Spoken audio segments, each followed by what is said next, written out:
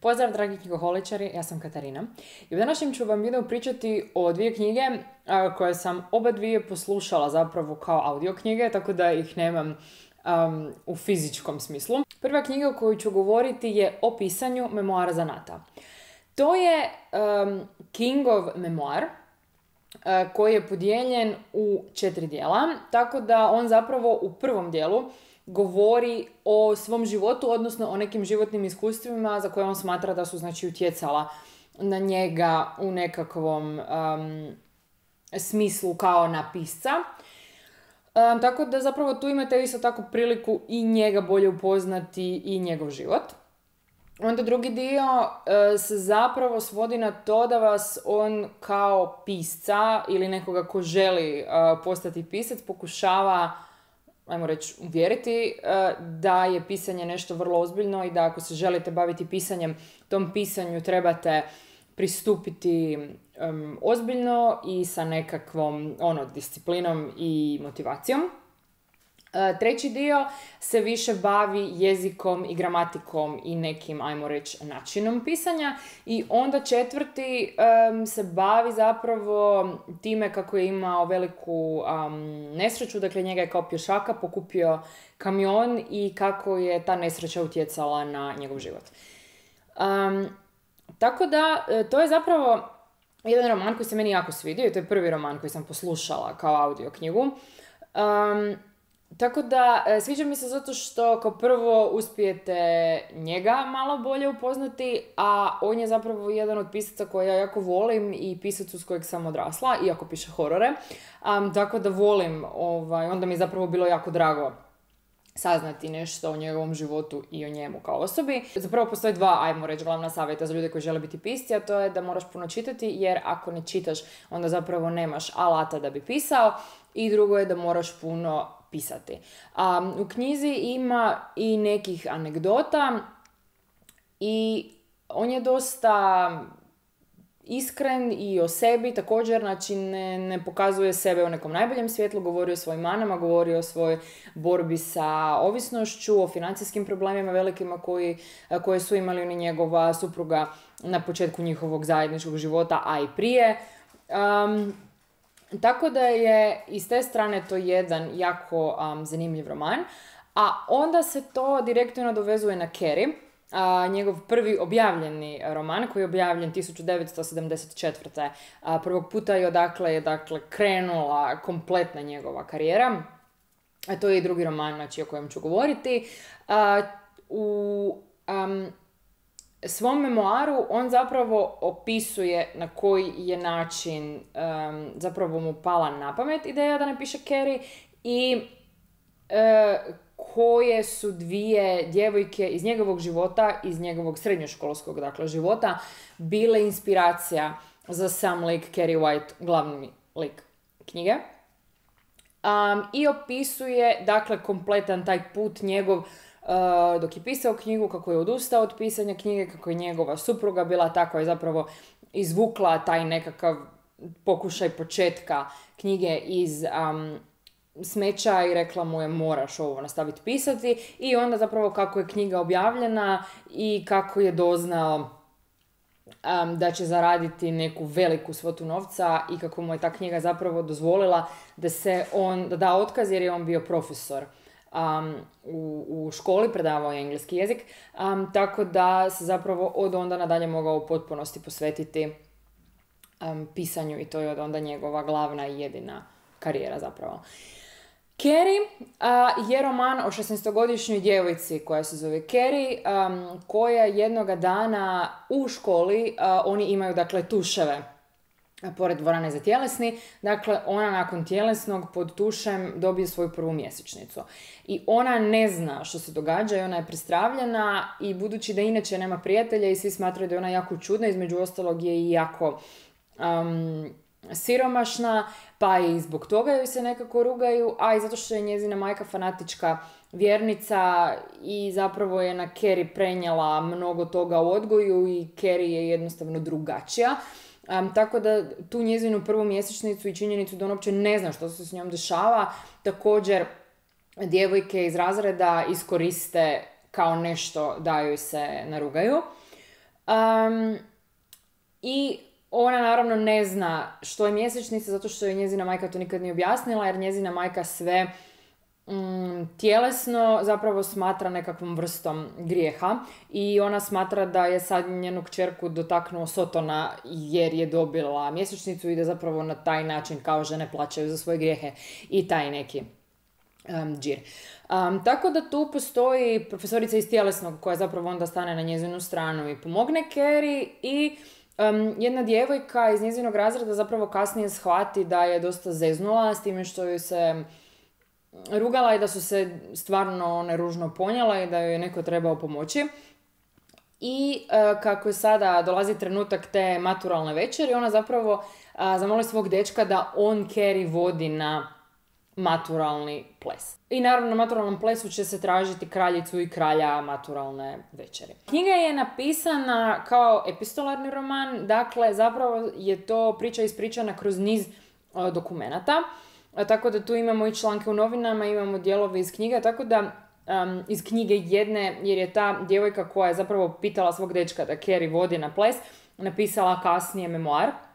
E, tako da mi priču gledamo unazad, jer E, znanstvenici zapravo pokušavaju otkriti, zato što je Kerry telekinetičarka, e, da li je to bio jedan fenomen ili ima više ljudi uh, koji imaju telekinetičke sposobnosti. Zato što je Kerry u jednom trenutku i sad mi zapravo to znamo od početka i diže se ta napetost jer mi i dakle kroz taj memoar te djevojke koja je preživjela tu jednu katastrofu i svi najavljuju tu jednu veliku katastrofu.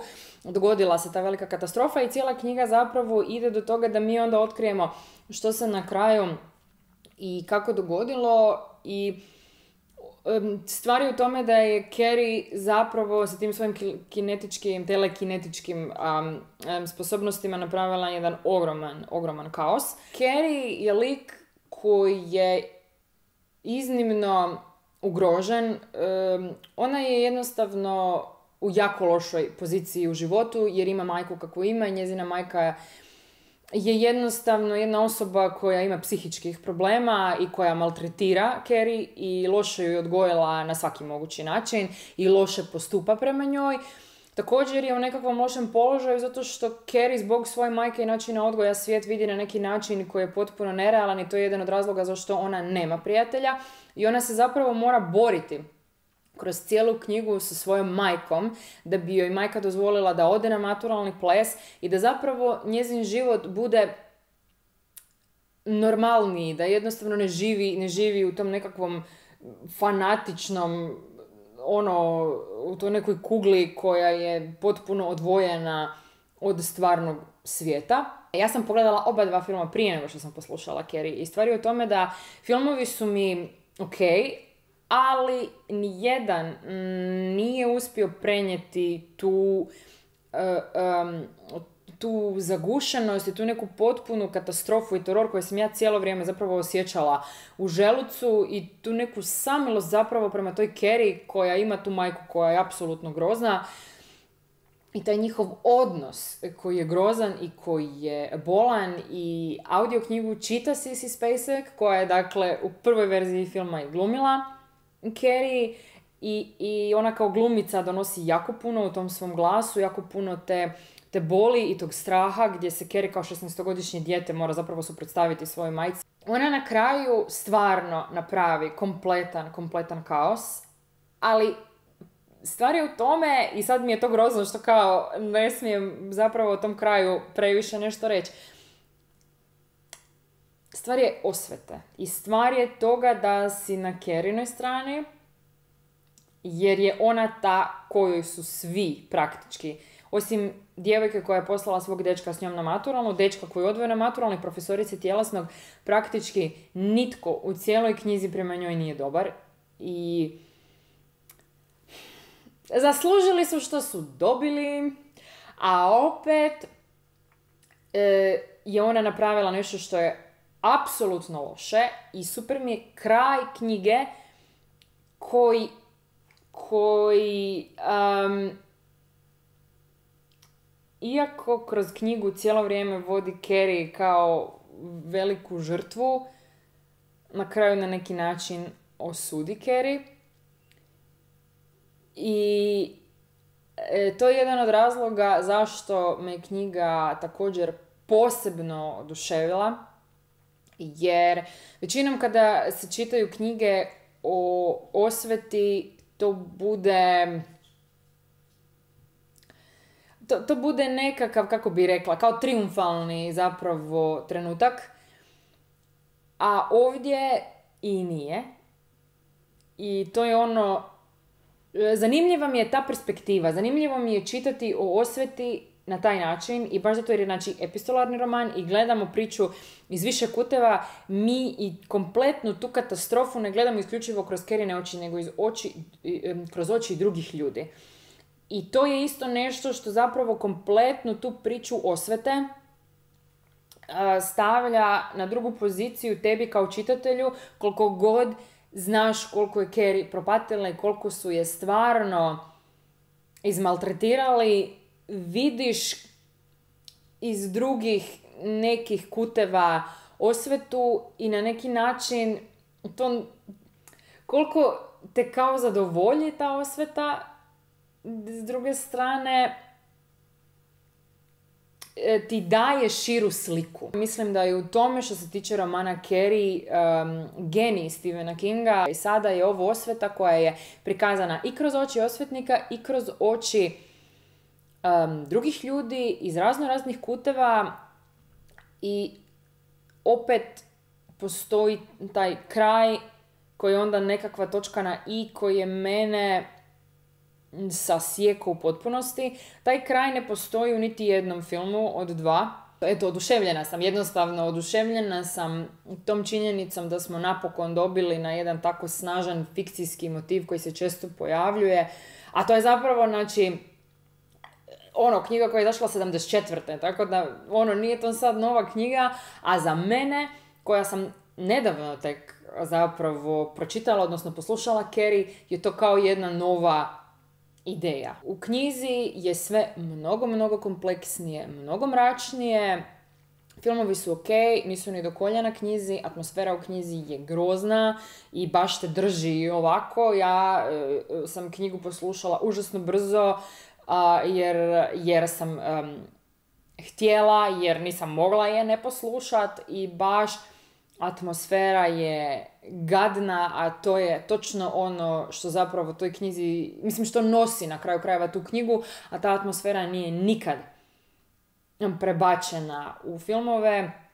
Filmovi su napravljeni kao nekakvi horor, ono, horori s jako puno krvi i curom koja ima telekinetičke moći, bez ikakve poruke morala, bez a, posebnih pogleda na tu osvetu bez e, puno tuđih perspektiva, dakle drugih likova koji su se zatekli u toj situaciji, kako, zašto i čemu.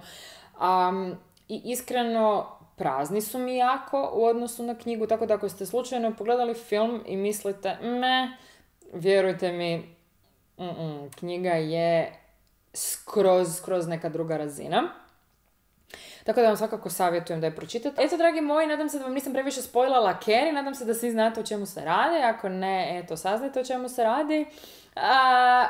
I javite mi što vi mislite o, o Kerry, da li ste možda pogledali film, pročitali knjigu ili jedno i drugo, da li se i vama čini da su zapravo potpuno različiti, iako su kao isti, da su filmovi super simplificirani i zapravo samo hrpa krvi i ko hrpa drugih e, horror filmova. I općenito mislim da su filmovi napravljeni prema Kingovim knjigama većinom loši. Loši, pogotovo u usporedbi s knjigom. Um, It, prvi dio je... Ne znam, uh, teško mi je općenito gledat njegove um, adaptacije, pogledam ih, mislim da sam ih sve pogledala, ne da nisam sve, ali većinu sam ih pogledala. I većinom filmovi stvarno nisu niti do koljena knjigama jer ne prenesu tu neku taj život tog lika, e, emocije i kompletnu poruku koju zapravo knjiga prenosi, nego su filmovi jako simplificirani, krvavi i ble. i moramo taj koš ubaciti i The Shining od Stanley Kubricka, koliko god je to kultni film. Ja, Kubrick, ja i Kubrick općenito smo si onako. Um, The Shining, odnosno Isijavanje, knjiga i film su jako slični i jako različiti. Sam Stephen King uopće ne voli adaptaciju The Shininga, ali eto, općenito mislim da King zaslužuje bolje adaptacije, ali ja se veselim eto drugom nastavku Ita, pa vidjet ćemo. U svakom slučaju, dragi moji, do sljedećeg puta čitajte, uživajte i knjigajte se.